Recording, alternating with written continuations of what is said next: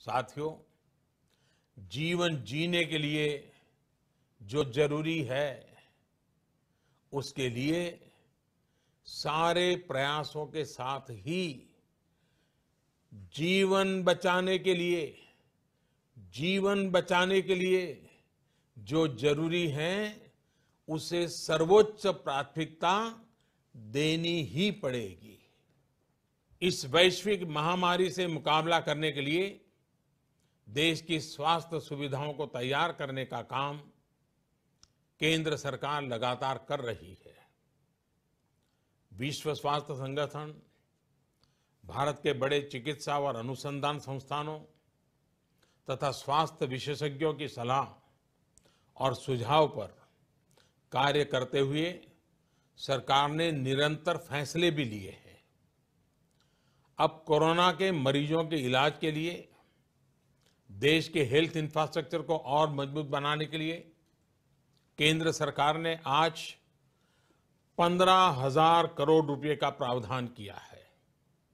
इससे कोरोना से जुड़ी testing facilities, personal protective equipments, isolation beds, ICU beds, ventilators और अन्य ज़रूरी साधनों की संख्या तेज़ी से बढ़ाई जाएगी। साथ ही मेडिकल और पैरामेडिकल मैन पावर की ट्रेनिंग का काम भी किया जाएगा। मैंने राज्य सरकारों से अनुरोध किया है कि इस समय सभी राज्यों की पहली प्राथमिकता सिर्फ़ और सिर्फ़ स्वास्थ्य सेवाएँ ही होनी चाहिए। हेल्थ केयर ही प्राथमिकता होनी चाहिए। मुझे संतोष है कि देश का प्राइवेट सेक्टर भी पूरी तरह से कंधे से कंधा मिलाकर संकट और संक्रमण की इस घड़ी में देशवासियों के साथ खड़ा है। प्राइवेट लैब्स, प्राइवेट अस्पताल, सभी इस चुनौतीपूर्ण दौर में सरकार के साथ काम करने के लिए आगे आ रहे हैं। लेकिन साथियों, ये भी ध्यान रखिए कि ऐसे समय में जाने अनजाने कई बार अफवाहें भी बहुत ज़ोर पकड़ती है और अफवाहों की ट्रैवल करने की ताकत भी बहुत होती है।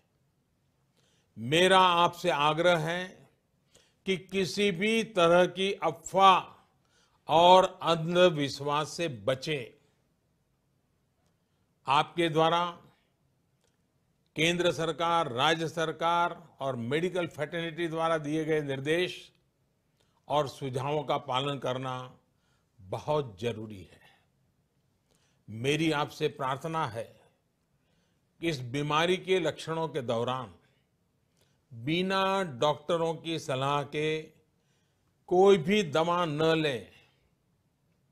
किसी भी तरह का खिलवाड़ आपके जीवन को और खतरे में डाल सकता है।